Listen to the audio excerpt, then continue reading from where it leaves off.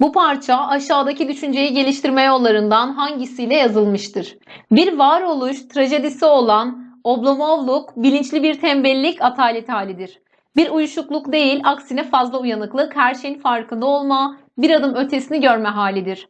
Ancak tüm bu farkındalık dolayısıyla sonunu gördüğü yolda ilerlemek istememenin getirdiği bir tükenmişlik ve kendini gerçekleştirememedir. Sosyal yaşamdan kopuş, topluma uyum sağlayamama bilinçli bir vazgeçiştir.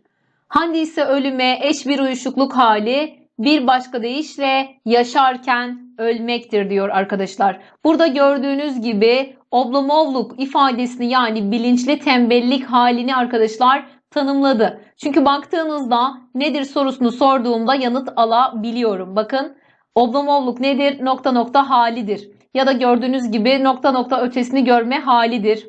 Evet, görememedir, vazgeçiştir, ölmektir. Zaten tanım cümlesinde yüklemlerimde genellikle yadırdır eki olacaktır ya da denir eylemi olacaktır. Gördüğünüz gibi burada hepsinde dırdir eki var ve nedir sorusunu sorduğumda yanıt alabiliyorum. Cevabım tanımlama olacak. Örnek vermemiş, örnekleme yok, tanık gösterme yok, başkasının düşüncesi ya da arkadaşlar alıntı cümlede yok. Benzetme de yok. Güçsüz bir unsuru güçlü olana benzetmemiş. Bu yüzden bunu da eledik. İki şeyi karşılaştırmamış. Karşılaştırma da yok. Dediğim gibi cevabımız Bursa şıkkı olacak.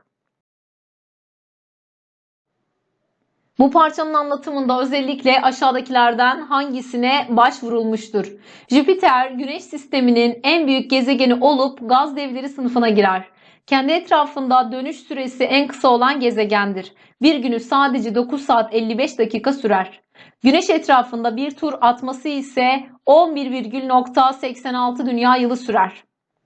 Jüpiter'in Güneş'e uzaklığı 750 milyon kilometredir. Güneş ışınları Dünya'ya 8 dakika 20 saniyede ulaşırken Jüpiter'e 43 dakikada ulaşır. Jüpiter en güçlü manyetik alana ve en fazla uyduya sahip gezegendir. Şimdi arkadaşlar baktığımızda sayısal verileri görmektesiniz değil mi? İşte 9 saat 55 dakika, 11,86 dünya yılı, 750 milyon kilometre, 8 dakika 20 saniye gibi kesinlikle sayısal verilerden yararlandığını söyleyebiliriz. Ve baktığımızda tabii ki karşılaştırma yaptı. Neyle neyi karşılaştırdı arkadaşlar? Jüpiter'le e, Güneş'i karşılaştırdı. Dolayısıyla bir karşılaştırma olduğunu da söyleyebiliriz. Hatta gördüğünüz gibi Jüpiter ve diğer gezegenleri karşılaştırdı. Jüpiter en güçlü manyetik alana sahip diyor. Buradaki enden bir karşılaştırma olduğunu da söyleyebiliriz. Dediğimiz gibi cevabımız bundan dolayı C şıkkı olacaktır diyoruz arkadaşlar. E, tanık gösterme yok çünkü alıntı bir cümle yok. E, baktığımızda benzetme de yok. Yine örnekleme yok ve benzetme olmadığı için yani güçsüz bir unsuru güçlü olana benzetmediği için dediğim gibi sayısal veriler ve karşılaştırma olacaktır. Yani cevabımız C şıkkı. Bu parçadaki altı çizili ifadeyle yazarın vurgulanmak istenen anlatım özelliği aşağıdakilerden hangisidir? Benim şiirim bir arındırma işidir. Gerektiği yerde, gerektiği kadar sözcük kullanmayı tercih ettim hep. Böylece dar bir alana dünyaları sığdırmaya çalıştım. Yani arkadaşlar dar bir alanda anlam yoğunluğunun fazla olması.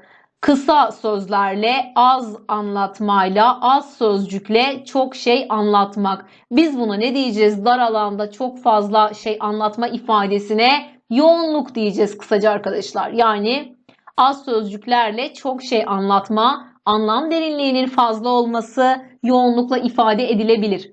Ama devamını okuyup öyle karar verelim. Okurumu güldürürken ya da ağlatırken hep düşündürmeye gayret gösterdim. Ona üzerinde yürüyebileceği bir yol vaat ettim. Ayrıca ben de her şiirimde bir öncekinden uzaklaşmak için gerekeni yaptım. Ama değişim eskiyi kökten reddetmek değildir.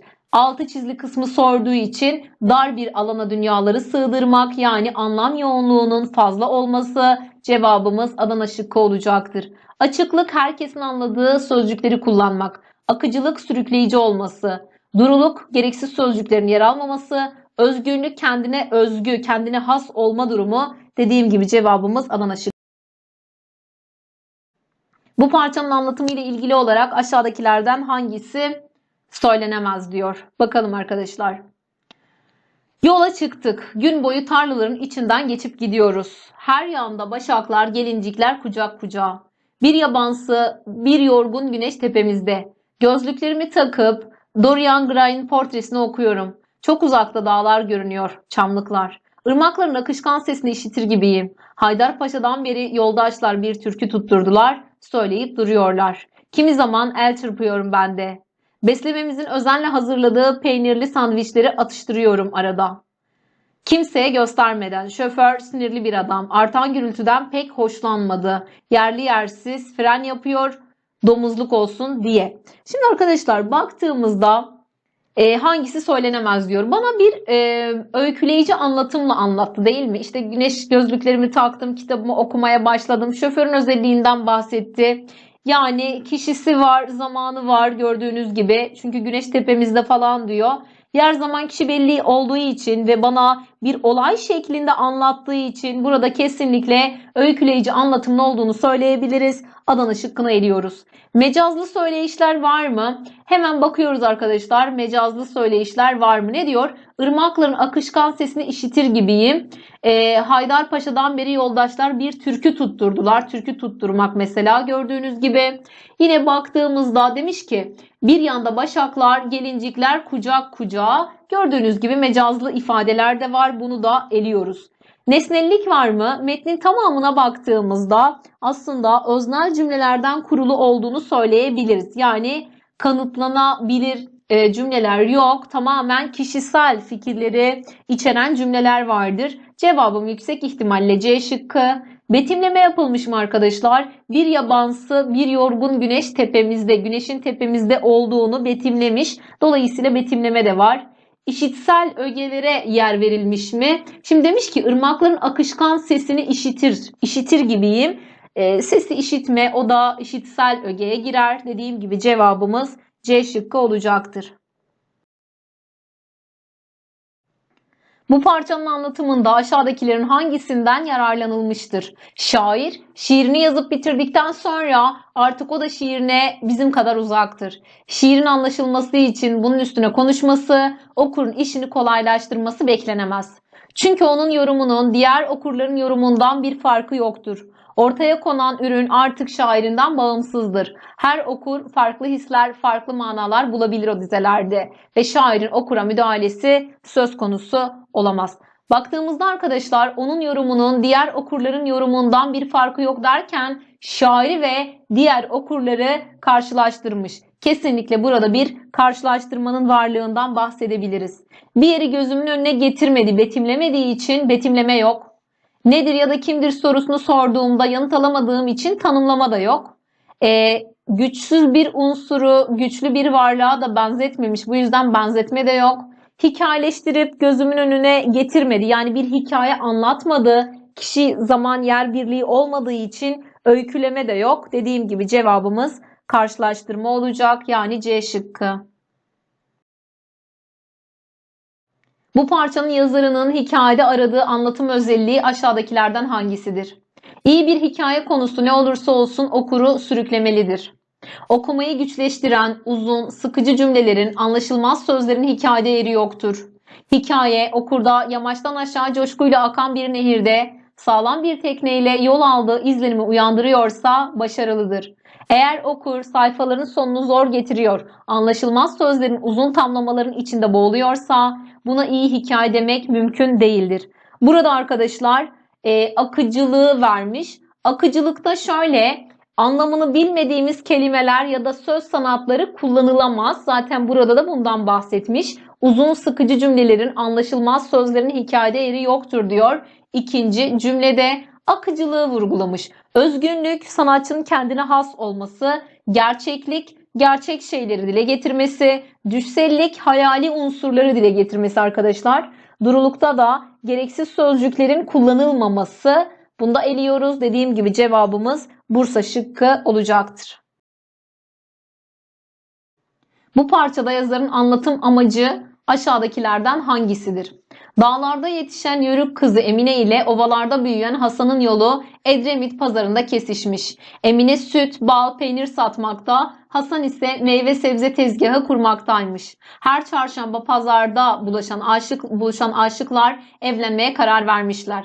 Emine'nin ailesinin bu evliliğe gönlü olmayınca Hasan'ı bir sınava tabi tutmak istemişler. Hasan'ın 60 kilo tuzu sırtında dağ başındaki obaya çıkarmasını şart koşmuşlar. Heveskar Hasan e, düşmüş yola ama sıcak, ağırlık ve hamlık bir arada olunca yarı yolda kesilmiş. Devam edemeyeceğini söyleyince tuzu Emine yüklenip görevi tamamlamış.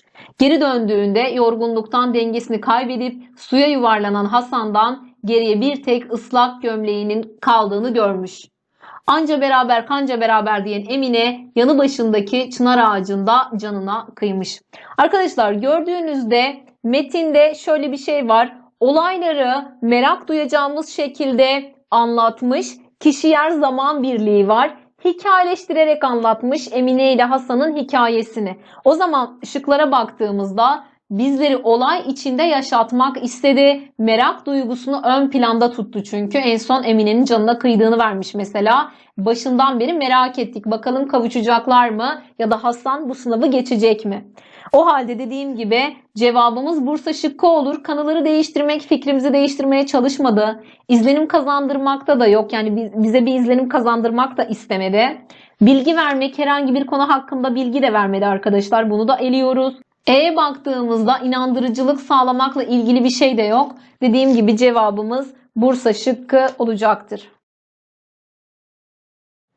Bu parçanın anlatımı ile ilgili olarak aşağıdakilerden hangisi yanlıştır diyor arkadaşlar. Bakalım İngiltere East Anglia Üniversitesi'nden bilim insanlarıyla Çin ve Rusya'dan araştırmacılar dünyanın en derin noktası olarak bilinen Marina çukuruna mikrobiyal popülasyon örnekleri toplamak için yapılan bir keşif gezisinde petrol yiyen yani parçalayabilen eşsiz bir bakteri türü keşfettiler.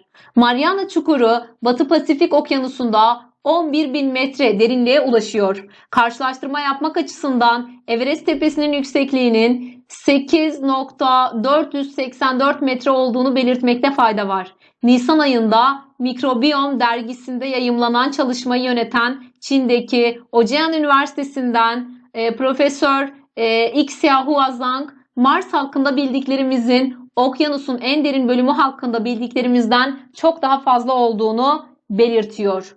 East Anglia Üniversitesi Biyolojik Bilimler Bölümünden Dr. Jonathan Todd'un araştırma ekibi 10 bin metre derinlikten aldıkları örnekleri getirip incelediklerinde hidrokarbon parçalayan bir bakteri grubu tanımladılar. Baktığımızda arkadaşlar sayısal verilere yer verilmiş gördüğünüz gibi şöyle şunların altını 11 bin metre diyor. Bunların altını çizelim. Dolayısıyla Adana şıkkını eledik. Terimsel anlamlı sözcükler kullanılmıştır. Mikrobiyal, popülasyon diyor, petrol diyor. Gördüğünüz gibi terim anlamlı sözcükler de var. Karşılaştırma yapılmıştır zaten bunu söylüyor. İşte karşılaştırma yapmak açısından diyor. Everest tepesinin yüksekliği ile karşılaştırma yapmış C şıkkında eliyoruz. Açıklayıcı anlatım var. Bana tamamını açıkladı zaten. Nesnel bir metin olduğunu söyleyebiliriz. Edirne şıkkında eliyoruz. Cevabımız Denizli olacak. Örnekleme yok. Denizli şıkkı doğru. Bu parçanın anlatımında aşağıdakilerden hangisi yoktur bakalım. Hazreti Mevlana bir dönem yaşadığı şehri Tokat'a gitmek gerek havası ılıman insanı mutedil diye övgüyle anar. Büyük beklentiler içinde olmadan gittiğim Tokat'ın merkezine ilerlerken geçtiğim tarihi köprü kartal yuvasını andıran kale düşündüklerimin aksini kanıtlamak ister gibi tüm görkemiyle karşılıyordu beni. Anladım ki birçok medeniyete ev sahipliği yapmış Tokat'ı gezerken sürprizlere açık olmak gerekiyordu. Karşılamayı yapan Tokat Kalesi'nden başlıyorum şehri gezmeye. Şehrin en güzel görüntüsünü izleyebileceğiniz kaleden birazdan içlerinde dolaşacağım sokakları seçmeye çalışıyorum. Birinci kişili anlatım var çünkü çalışıyorum demiş. İzleyebileceğiniz dolaşacağım sokaklar demiş. Gördüğünüz gibi arkadaşlar birinci kişili anlatım vardır. Peki kişileştirme var mı? Bakalım kişileştirmeye. Demiş ki e, tarihi e, köprü, kartal yuvasını andıran kale, beni karşılıyordu diyor. Tarihi köprü onu karşılayamaz. Buradaki köprü kişileştirilmiş, insan gibi düşünülmüş. Dolayısıyla kişileştirme de vardır. Peki tanık gösterme var mı? Ona bakalım. Tanık göstermede alıntı bir cümle arıyorduk ve bu alıntı cümle genellikle tırnak içerisinde veriliyordu. E, Mevlana'nın sözü verilmiş burada. Gördüğünüz gibi Tokat'a gitmek gerek, havası ılıman, insanı mutedil. Bu da bizim için tanık göstermedir. Dolayısıyla bunu da eleyebiliriz. Peki devam ediyoruz. Benzetme var mı arkadaşlar? Bakıyoruz hemen benzetme var mı yok mu? Demiş ki düşündüklerimin aksini kanıtlamak ister gibi, istercesine e, tüm görkemiyle karşılıyordu beni. Burada da bir benzetmeden bahsedildiğini söyleyebiliriz. O halde cevabımız örnekleme olacaktır. Yani Edirne şıkkı. Bu parçanın anlatımı ile ilgili olarak aşağıdakilerden hangisi söylenemez? Dünyanın en ünlü şehirlerinin birinde sevdiklerimize hediye almaktan daha zor bir şey var mıdır? Celil Han dar sokaklar üzerine kurulmuş türlü süs eşyasının mavi, kırmızı, yeşil bin bir çeşit boncuğun satıldığı bir pazar yeri. İbri andıran koku şişeleri akla hayale sığmayacak malzemelerden yapılmış çeşitli takılar hatta kamış özünden imal edilmiş kağıtlara kadar birçok hediye alternatifi var. Ancak hediye alışverişine kendinizi çok fazla kaptırmayın. Yoksa kırkuki içmeyi unutarak dönersiniz pazardan. Kişisel değerlendirmeler kesinlikle var. Zaten en ünlü şehir derken buradaki ünlü ifadesi kişisel bir değerlendirmedir. Adana şıkkına eliyoruz. Betimleyici anlatıma yer verildiğini de söyleyebiliriz arkadaşlar. Oradaki süs eşyalarının mavi, kırmızı, yeşili gözümüzün önünde getirmiş. Zaten bunlar aynı zamanda görsel ögelerdir. Betimleyici anlatımda var. Peki benzetmeden yararlanılmış mı? Hemen bakıyoruz arkadaşlar. Demiş ki dünyanın en ünlü şehirlerinin birinde sevdiklerimize hediye almaktan daha zor bir şey var mı? Ee, dar sokaklar üzerine kurulmuş türlü süs eşyasının mavi, kırmızı, e, yeşil, bin bir çeşit boncuğun satıldığı bir pazar yeri. İbri andıran yani ibreye benzeyen demek istiyor arkadaşlar. Burada kesinlikle bir benzetme olduğunu da söyleyebiliriz. Dolayısıyla C şıkkında eliyoruz. Görsel öge zaten var. Yeşil, kırmızı, mavi ifadeleri görsel ögeyle açıklanabilir. Ancak dolayısıyla bunu da eledik. Konu yansız bir tutumla anlatılmıştır. Hayır arkadaşlar, öznellik ağır basmakta, kişisel düşüncelere yer verilmiş. Dolayısıyla cevabımız Edirne şıkkı olacaktır.